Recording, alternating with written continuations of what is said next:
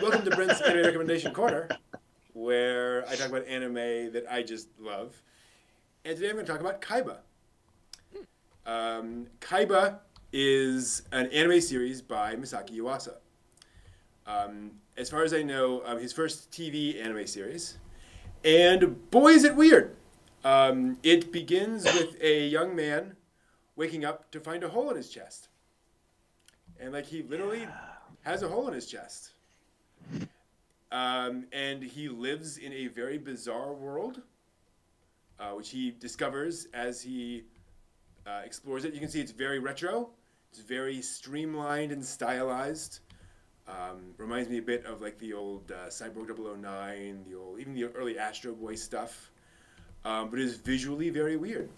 Um, everybody in this world has their entire all their memories, everything that makes up them, sitting in a little cone in their head, which you can pop out and then plug into another body. Yeah, that just works. Um, which means if you go into a dark alley, someone can pop your little thing out, grab your body, Someone somewhere can else. pop your cone. Yeah. It, Oh my. Oh my Um, but yes, And my cone's been jacked. Oh, Yeah. no. Give me. Nobody gets her. And so it's the story of this young man figuring out what's going on in this world, why he has a hole in his chest, why he has this weird symbol on his stomach, and what's going on. And obviously, there's conspiracy theory. There's there's, there's conspiracies going on. There's there's much a lot more going on. It's a 12 episode anime series. Um, it's remarkable. It is memorable. There you see someone popping it right in there. Um, there's a lot going on. Um, it, there are certainly some more grown-up scenes later on in it. Be aware.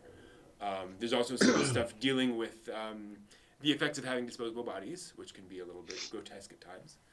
Um, and so it's weird because there are times when it really feels like this is, you know, a a remade Astro Boy story or something, and it feels very um, childlike.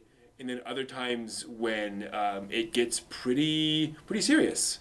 Um, it's a series that uh, hits a lot of range and is just kind of fascinating and definitely not for everybody. It, it's a it's a weird one, but if you like experimental films, uh, if you like oddball anime, but if you like things that are made to purpose, where their themes definitely do come together, Kaiba is one of those things.